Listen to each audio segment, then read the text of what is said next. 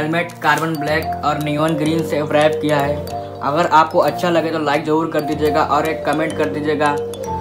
अगर आप हमारे चैनल पर नए हैं तो उसको सब्सक्राइब कर दीजिएगा ताकि हमारी हर वीडियो आप तक पहुँचे।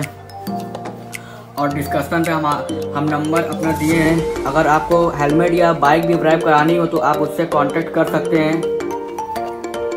Thanks for watching